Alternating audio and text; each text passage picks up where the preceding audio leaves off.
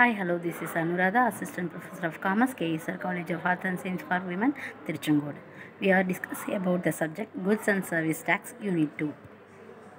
Supply. Supply is related to the price of the products given that there is an incentive to supply at a higher price as higher prices produce greater revenue and profits. Companies always want profit and therefore are more likely to manufacture more products at higher prices. When the price of goods or services is low, the supply is very low.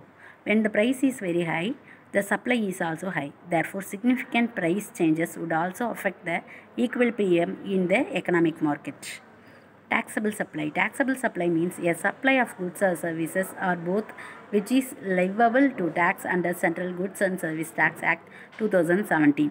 Value of taxable supply. The value of supply of goods or services or both shall be in the transaction value which is the price actually paid or payable for the said supply of goods or services both where the supply and the recipient of the supply are not relating under the price is the sole consideration of the supply. Any taxes, duties, cesses, fees and charges levied under any law for the time being in force other than this act.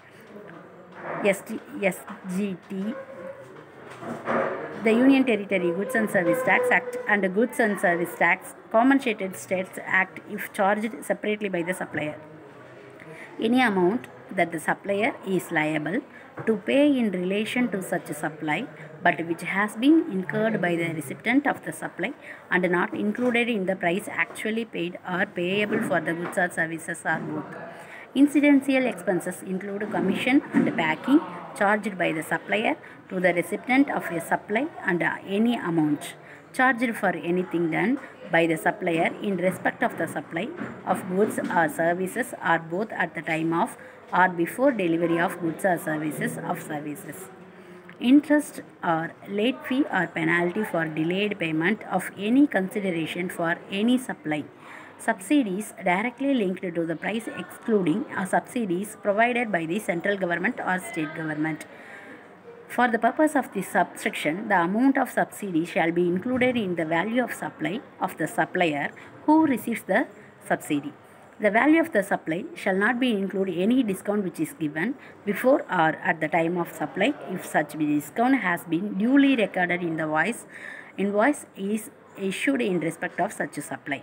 After the supply has been effected if such a discount is established in terms of an agreement entered into at or before the times of such supply and especially linked to relevant invoices. The second one is input tax credit as to uh, attributable to the discount on the basis of a document issued by the supplier has been reversed by the recipient of the supply where the value of supply of goods or services or both cannot be determined under subsection 1 the same shall be determined in a such a manner may be prescribed notwithstanding anything contained subsection 1 or subsection 4 the value of such supplies as may be notified by the government of the recommendations of the council shall be determined in such manner as may be prescribed.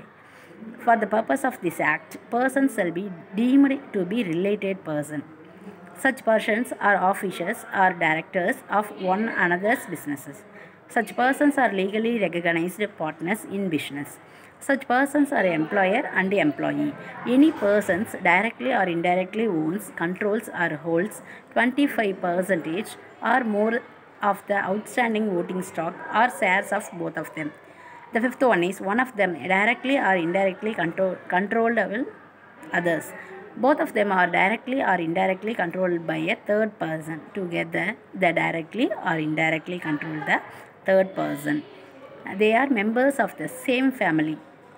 Persons who are associated in the business of one another, in that one is the sole agent or sole distributor or sole concessionaire,